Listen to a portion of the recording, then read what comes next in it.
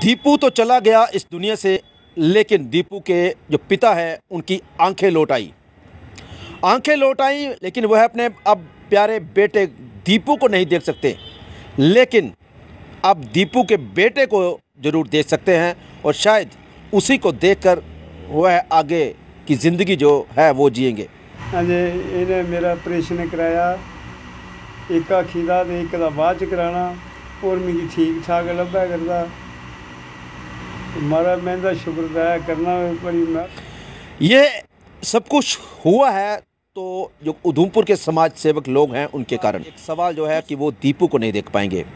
लेकिन दीपू के बेटे को ज़रूर देख पाएँगे अपनी गोद में उठा पाएँगे उसके साथ खेल पाएँगे और शायद दीपू की कमी जो है वो इस बेटे के ज़रिए ही वह पूरी कर पाएँ।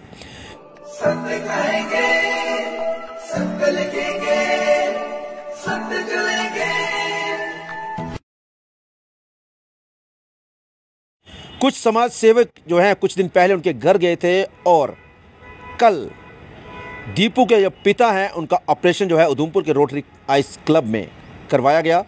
उसके बाद अब एक उम्मीद जागी है कि दीपू के जो पिता हैं, वो अच्छे से देख पाएँगे। लेकिन सवाल यही है, दीपू को नहीं, दीपू के बेटे को, जो दो चार दिन पहले ही इस दुनिया में आया है। दैनिक स्टेट समाचार में आप सभी का स्वागत है। मैं हूँ अरुण शर्मा। बात करें तो समाज सेवकों की कमी नहीं है। जी हाँ जहाँ भी कहीं ज़रूरत पड़ती है तो ये समाज सेवक लोग जो है, जो लोगों के दुख, दर्द को समझते हैं, ज़रूर पहुँचते हैं और अपना जो कार्य है, वो बिल्कुल ईमानदारी के साथ निभाते हैं। ऐसा ही कुछ हुआ है, टारगेट किलिंग का शिकार हुए दीपू के परिवार के साथ। दीपू के परिवार की कल भी हमने खबर दिखाई कि किस तरह से उनके घर में एक बेटे ने जन्म लिया है, परिवार किस तरह से अब जी रहा है? और एक बड़ी बात ये हुई है कि उधमपुर के समाज सेवकों द्वारा अब दीपू के पिताजी जो हैं, उनकी आँखों का ऑपरेशन करवाया गया है और अब वे भी इस दुनिया को देख पाएँगे अच्छे तरीके से। लेकिन एक बड़ी बात, एक सवाल जो है कि वो दीपू को नहीं देख पाएँगे। लेकिन दीपू के बेटे को ज़रूर देख पाएँगे, अपनी गोद में उठा पाएँगे उसके साथ खेल पाएँगे और शायद दीपू की कमी जो है, वो इस बेटे के ज़रिए ही वह पूरी कर पाए। तो आइए दिखाते हैं कि क्या कहते हैं दीपू के पिताजी।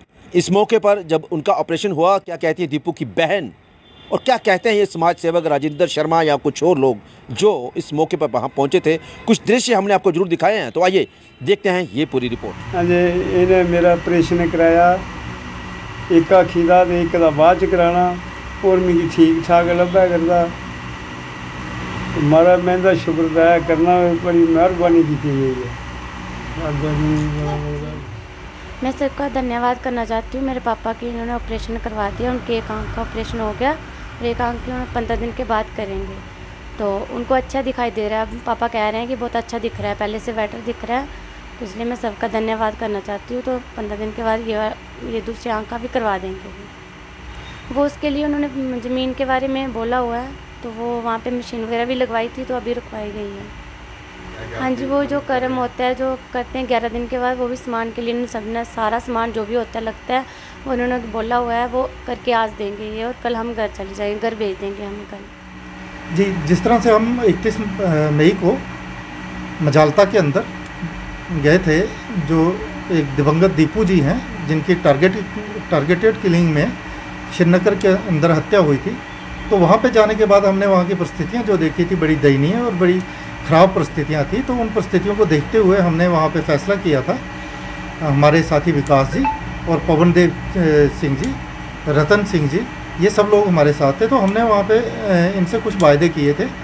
उसमें पहले माइलस्टोन को हमने कवर किया है आज की डेट में। उनकी आँख का एक सफल ऑपरेशन करा के अभी हम लौटे तो इनको कल सुबह अपने घर के लिए रवाना करेंगे हम लोग। और फिर जो दूसरी आँख का ऑपरेशन है, ठीक पंद्रह दिन के बाद में इनको दोबारा से बुला के हम इनकी दूसरी आँख का भी ऑपरेशन करेंगे। और इनके जो बड़े बेटे हैं, और साथ ही साथ मैं आपको बताऊँ कि यहाँ पे मैं सबसे तहे दिल से शुक्रिया अदा करना चाहता हूँ रोटरी हॉस्पिटल का और वहाँ के डॉक्टरों का, जिन्हों, जिनके प्रयास से ये चीज़ें संभव हो पाई हैं। और बिल्कुल फ्री में उन्होंने ये ऑपरेशन सफल ऑपरेशन करके दिया है। हमारे प्रयास को उन्होंने एक तरीके से ये मानिए, पंख लगा दिए। जो हमने वायदे किए थे, वो वायदे पूरी तरह करने में उनका बहुत बड़ा एक योगदान है। तो आगे भी ऐसे प्रयास होते रहेंगे और इनकी दूसरी आँख का भी ऑपरेशन होगा और जो जो चीज़ें हैं, इनकी जो बेसिक रिक्वायरमेंट्स हैं, उन पर पूरे ध्यान से हम लोग काम कर रहे हैं, कदम दर कदम आगे बढ़ रहे हैं। और एडमिनिस्ट्रेशन का भी मैं शुक्रिया अदा करना चाहता हूँ, जब हम, हमने जो स्टेटमेंट दिया था, उन चीज़ों को फुलफ़िल करने में एडमिनिस्ट्रेशन ने बढ़ चढ़ कर वहाँ पर प्रयास किए। धन्यवाद। देखिए, मेरा नाम विकास कुमार है और, मेरे साथी पवन देव सिंह जी, प्रयास एक दिशा से। पवन अपना राजेंद्र शर्मा जी, एकम एक भारत दल से। तो आज दीपू के पापा का ऑपरेशन हुआ है आई रोटरी हॉस्पिटल उधमपुर में, जिसमें इस ऑपरेशन को बिल्कुल फ्री किया गया है आई रोटरी द्वारा। मैं शुक्रिया अदा करता हूँ डॉक्टर अंकुर गोयल जी का, जिन्होंने मेरी बात को सुना और ये फ्री ऑफ़ कॉस्ट ऑपरेशन किया है। और मैं सबसे ज़्यादा शुक्रिया डॉक्टर साहब का करता हूँ और उनके साथ जो आई रोटरी के चेयरमैन हैं डी एन शर्मा जी का। और साथ में जितनी भी आई रोटरी की टीम है ऑल डॉक्टर ऑल जितने भी कर्मचारी वहाँ पे हैं, सबका मैं शुक्रिया अदा करता हूँ कि इनकी उन्होंने मदद की है हमारे कहने से। और हम लोग सारे उधर गए। आज ये दो दिन से जो दंदयाल शनि मंदिर है, उसी मंदिर के अंदर ये रह रहे हैं और जितना हमसे हो पा रहा है, हम कर रहे हैं।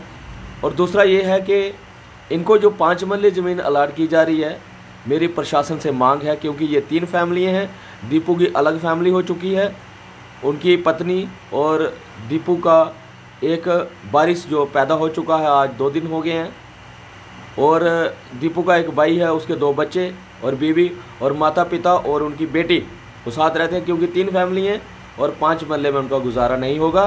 कम से कम उनको तेरह या चौदह मरले ज़मीन दी जाए और तीन चार कमरे जो उनको बना के दिए जाएँ ताकि इनका अच्छे तरीके से गुजारा हो सके।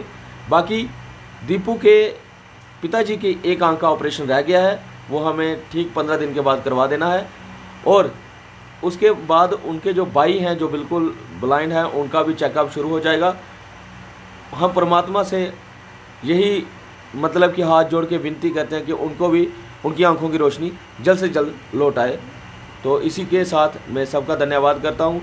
जितना भी हमारा प्रयास रहा, हमारे पवन देवजीत सिंह जी का और राजेंद्र जी का और जितनी भी हमारी टीम थी और सबसे ज़्यादा प्रयास जो आई रोटरी वालों का रहा, जिन्होंने इनका ऑपरेशन किया।